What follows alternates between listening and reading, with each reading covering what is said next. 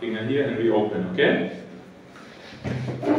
We open with, with a small child, it's not that easy, but we try to open and we see if, if, if there is something. If there is nothing, we tilt the head backwards, okay? Like from this position to this position, okay? This is called the sniffing position, like a dog tries to sniff, okay? And if a child doesn't start breathing, or if we don't see if the child is breathing, then we are now at breathing. We do a see, we look if the child is breathing. So we see if the chest is inflating. We hear if the child is breathing because our ear is above the mouth. We don't hear if the child is breathing. And we feel if the child is breathing. Sometimes when you have a breath, you could feel like the warm breath on your ear. Okay? So we look. We don't look like this because we don't see anything. Yeah? We look like this. Okay? If the chest is inflated. We hear. If the child has some has some um, flu and is breathing, we can hear the flu. We can hear like the mucus. Eh? And we feel it on our ear. Okay, we do it for 10 seconds, okay? Not less and not more. Okay, so just a quick, um, quick revision. Airway, we control, is there something there? We tilt the head backwards, okay? There is nothing, and then we look and feel and feel if there's breathing. Okay, then there is a third thing we can do. Circulation, that's the C. But I've put it in brackets because this takes us time. If we then try to assess the pulses, hmm, the pulses would be here, for example. The femoralis pulse, the pulse on the arm, the pulse on the neck, we are losing time. I have to admit, sometimes in a child which is playing well, which is sitting upright in bed, which is smiling at me, and I try to feel this pulse, I don't feel it sometimes. So you can imagine how hard it is in a child without any pulse. So we would lose much time if we tried the C too long. Mm, I'm not sure, is there a pulse or not? Already 10 seconds gone. Precious time. Then, hmm, are there pulses? I'm not sure. Hmm, let's try more. So we're losing time. We are losing time which we, um, which the child needs. Yeah? Because the child is without breathing, the child is without heartbeat. So this is time. So the circulation I put in brackets. Let's let's stick to airway and breathing. A B and do just a quick C. Circulation, we feel if the hands and the feet are cold. If they are cold, we can assume no blood is coming into the hand and into the feet. Then, Okay, so we have looked at the airways, we have looked at the breathing, we have looked at the circulation quick. And we see the child hasn't got the breathing and doesn't the heart doesn't beat. What do we do? So, this was the first thing. Control airways, control breathing, and absent breathing, okay? Or inadequate breathing. That if the child is just laying there and does like, ah, ah, it's breathing, but it's inadequate breathing. So we start the, the next step, nevertheless. Okay? So, up until then, I've done the check, but before I've called for help, because the help takes some time. So I don't know. Mm, if you are on the other, so if you, sister, have found the child, and you are on the other end of the hall, and you have to take the emergency equipment, it takes you some time, it takes you 30 seconds, it takes you one minute yeah, till you react. So up until that time, you sister have time for the ABC check, okay? Then help the eyes with the mask, okay? And with all these nice medication. So next step is the five breaths with a whole mask. So, first of all, we have to see if the size of the mask is well. The Agnes has done, has done a great job. You have um, bought a few masks, a few sizes, and one of them will fit to the child because a 10 year old child has another size of its face than a 2 year old child, okay? So you found a mask which you think sits well, fits well. You're putting the mask on the face, okay? Here you have some, some guidance how it should be. It should cover the mouth, it should cover the nose. And there shouldn't be a free space to for the air to, for the air to escape, okay? So, then a C grip, like a C. The C, your thumb and index finger, and on the mask. The other fingers are at the jawline, okay? Not at, at this part, not at the soft part. Because when you push the soft part, you are the cause of the obstruction and no air will come in. So you are having the other fingers on the jaw, okay? And the thumb and index finger like a C on the mask. And then you do five, um, five breaths. Now in this child we won't see the chest inflating, unfortunately. I tried with this bed, but it wasn't, it didn't work. So we do one, two, three, four, five. It should be one second in, one second out, okay? And not to push too hard, because then you let the lungs explode. It's not good. So it's like a soft half pressure, okay? Maximum of half. Um, and if there's another person, you have brought a, not like this, eh? then, the, then the child won't recover from this. And another person who came, who brought the equipment, can be like this and see if the chest is inflating, okay? Well, then we've got the circulation part, but we know our check of the circulation is just a quick check of the feet and hands. Okay? Well, so after having done the five initial breaths, we start. The one person who has done this stays here, okay? The second person who brought the equipment goes away from the equipment, goes to the other side, it's Dr. Josephine, and starts with the 15 chest compressions. Where do I compress? On the sternum. The sternum is from here to here. You feel the soft part here? Yes.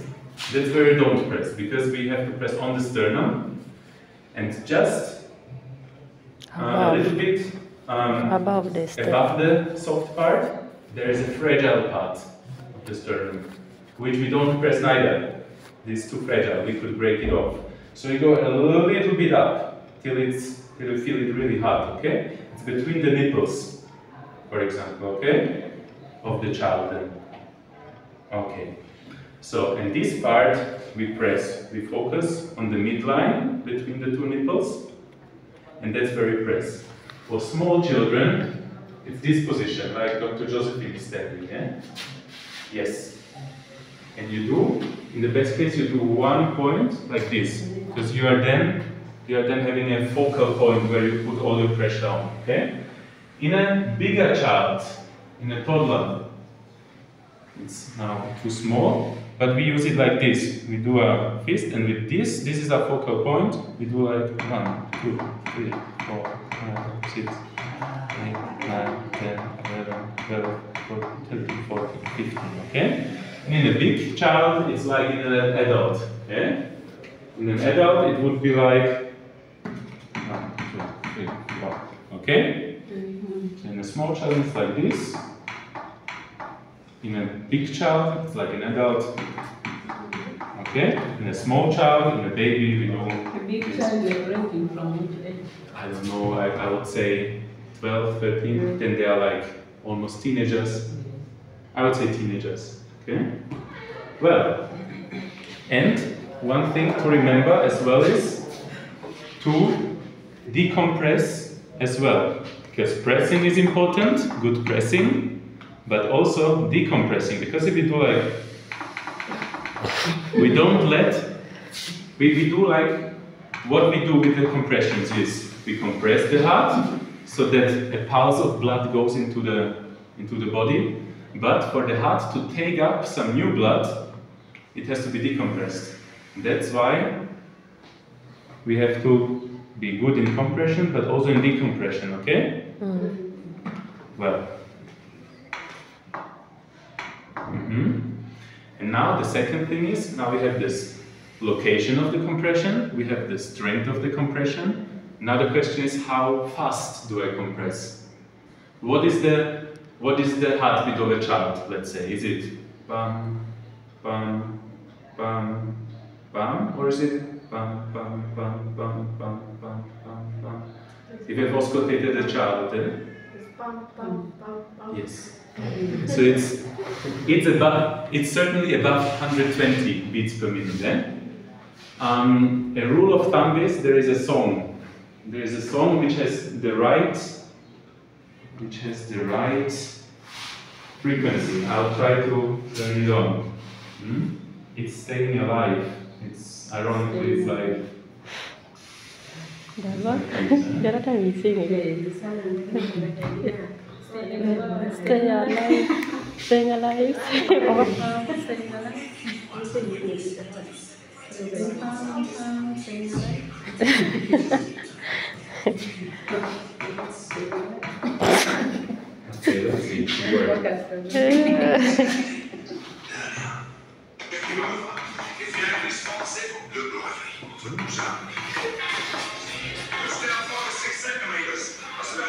Alive.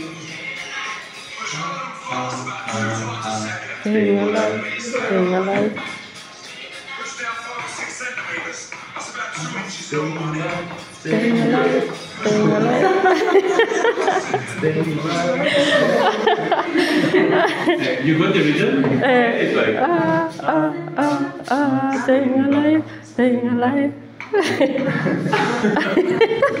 That's your rhythm. That's also for adults and also for children, okay? And it's 15, 15 compressions, mm. and the other person does then two, one, two, Two. and then you start again, okay? Mm. And what's in, what is important if you do do, do your 15 compressions?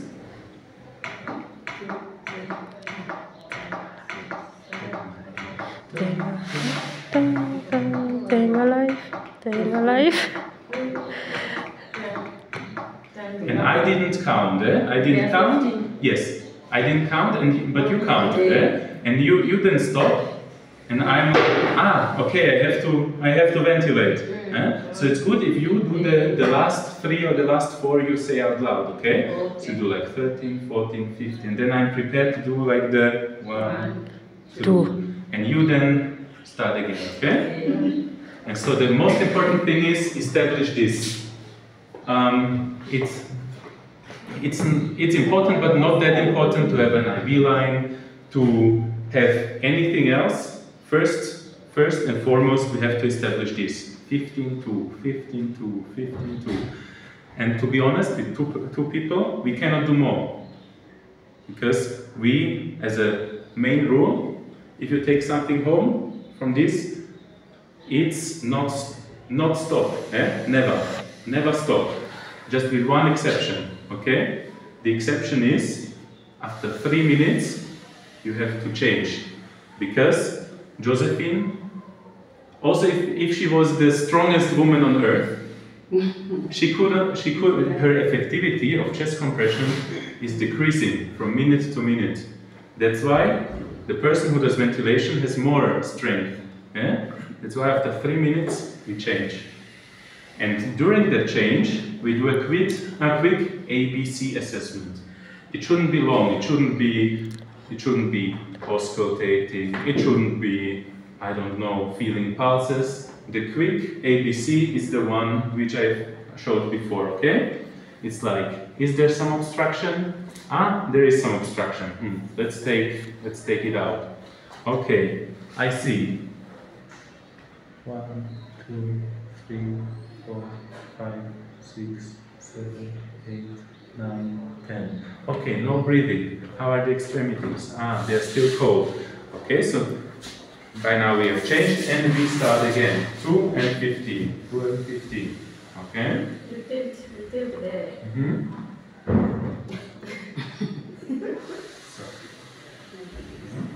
so, let's do it like this, eh? So, to have it more comfortable, it's so. And the C grip, okay? It's like, yes, one thumb is here, so here, and the other fingers tilt. Okay? Yes. And then you do like one, two, and I start with one.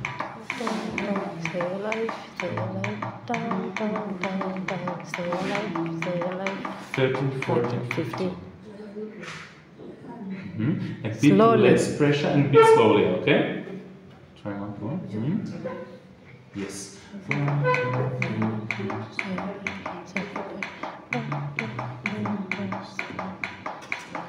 thirteen, fourteen, fifteen. Okay? Okay. And we do this together if we are two. That's all we can do if we are two people. But let's say we are in children's ward, there's always someone around, okay? There's at least a third person. A third person brings in new possibilities. The possibility of giving fluids. The possibility of giving adrenaline, okay? We have two kinds of fluids and one kind of medication we can give, okay? So that